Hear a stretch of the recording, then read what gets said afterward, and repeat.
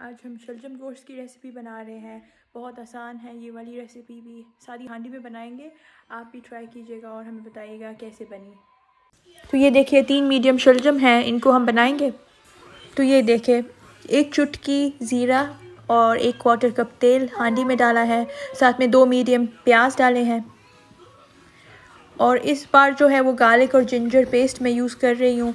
एक चम्मच garlic paste है, एक चम्मच जिंजर पेस्ट और ये मेरे फ्रोज़न ब्लॉक्स है, लेकिन इनसे भी बहुत अच्छा काम चल जाएगा। अगर आपके पास ताज़े नहीं हैं तो आप ये भी यूज़ कर सकते हैं। ये शलजम है, इनको छील के, धो के काट दिया है और तकरीबन एक किलो से थोड़ा कम लैम है, गोश्त है। तो ये शलजम गोश्त बनेगा आज।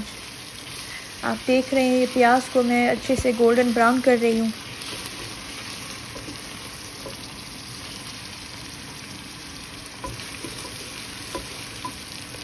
तो मैं जो हूँ, कैन वाले टमाटर यूज़ कर रही हूँ आज पील्ड प्लम वाले।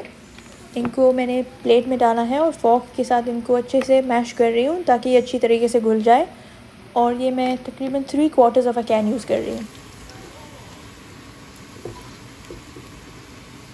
और अब ये देखिए, हमारा जो प्याज है वो गोल्डन ब्राउन हो चुका है। हमें इसको जलाना नहीं है तो इसमें तकरीबन हम आधा कप पानी डालेंगे ताकि ये अच्छे तरीके से घुल जाएँ।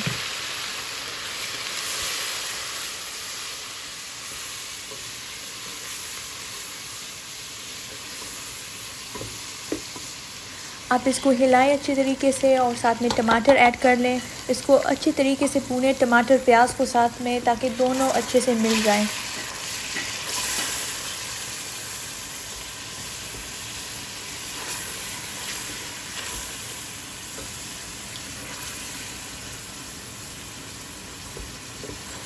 ये अच्छी तरीके से डोई के साथ टमाटर को मैश भी करें और one and half teaspoon जो है वो नमक वन टी स्पून धनिया powder one and half teaspoon chilli powder आधा टी स्पून हल्दी और आधा टी स्पून जो है वो गरम मसाले का आपने इस मिक्सचर में डाल देना है।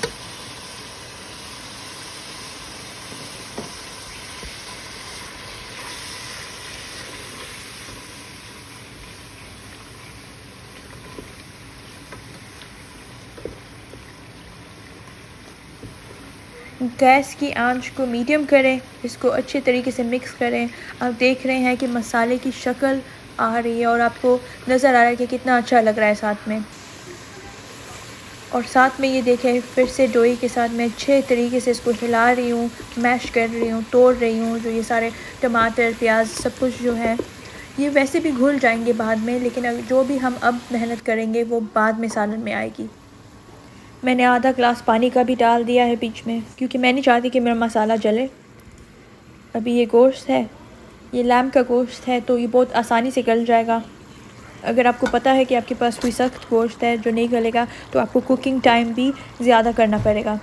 तो ये मैंने अच्छे तरीके से धोया है, इसको मैंने हांडी में डाल दिया है, मसाले के अंदर डाल दिया है। अब इसको मैं थोड़ा सा पकाऊँगी।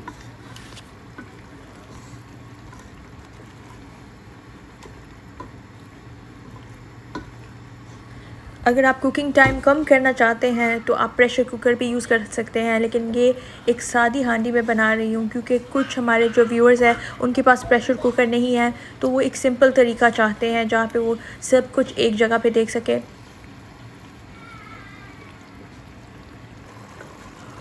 ये देखिए, सालन में जोश आ चुका है और गोश्त का रंग भी बदल चुका है और ये ग्रेवी भी बन रही है साथ में। पाँच से दस मिनट तक आपने इसको भूनना है, उसके बाद शलजम ऐड करने हैं। क्योंकि हम सब चीज़ें एक ही टाइम पे बना रहे हैं तो दोनों एक ही टाइम पे पक जाएँगे। और आप देख रहे हैं, शलजम मैंने मीडियम काटे हैं, ज़्यादा बड़े भी नहीं काटे और इतने छोटे भी नहीं हैं तो ये गोश्त के साथ आसानी से बन जाएँगे। फिर से मैंने पानी ऐड किया है यहाँ पे। एक कप ऐड किया है मैंने और मैंने आँच को तेज़ कर दिया है ताकि फिर से सालन में जोश आ जाए।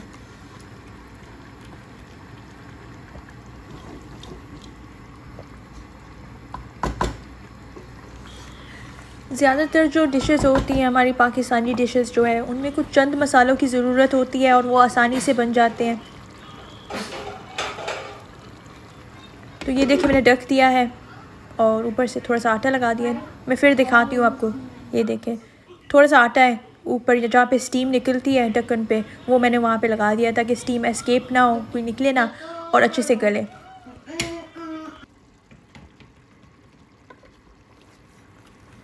तकरीबन 20 मिनट आपने इसको हल्की आँच पे पकाना है।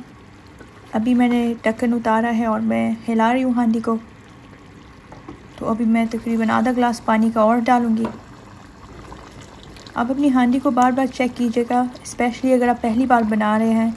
आपको इसको जलाना नहीं है। बहुत आसानी से जल सकता है ये। लेकिन इसमें ज़्यादा पानी भी नहीं डालना। अभी मैं 20 मिनट और के लिए इसको छोड़ दूँगी। और ये बिल्कुल तैयार हो चुका है, माशाल्लाह से। तकरीबन 40 मिनट हमने इसको ढक के रखा था, हल्की आँच पे। हरा धनिया डाल दिया है, हरी मिर्च भी डाल सकते हैं। अगर आपको पता है कि आपके पास सख्त वाला गोश्त है तो उसको थोड़ी देर ज़्यादा पहले पकाएँ, फिर शलजम बाद में ऐड करें आखिरी आधे घंटे में। हमारी हांडी बिल्कुल तैयार हो चुकी है, इसका बहुत अच्छा मसाला बना है। इन हम रोटी के साथ खाएँगे। आप भी ज़रूर ट्राई कीजिएगा। बहुत शुक्रिया देखने के लिए और अल्लाह